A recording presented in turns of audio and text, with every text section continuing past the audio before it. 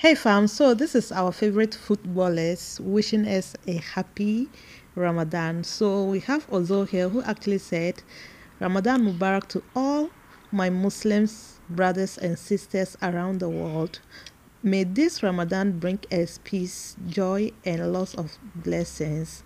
Yeah, with love emojis, guys. And here we have Ashraf Hakimi.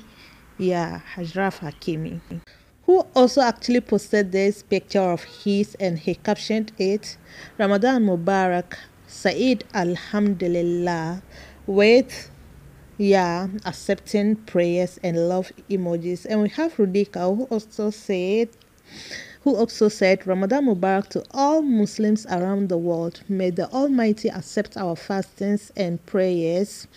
Hashtag always believe. Yeah. And here we have Paul Pogba, guys. Polo actually said Ramadan Kareem.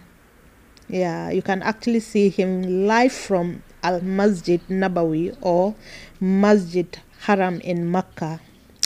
And here we have Karim Benzema, yeah, who actually is already on his prayer mat and yeah, he was like, it is time, which means it is time for prayers. And we have Sadio Mane or Sadio Mane who actually said Ramadan Karim to all my brothers and sisters in Islam, guys. So Ramadan Mubarak to all of you. May Allah accept our prayers.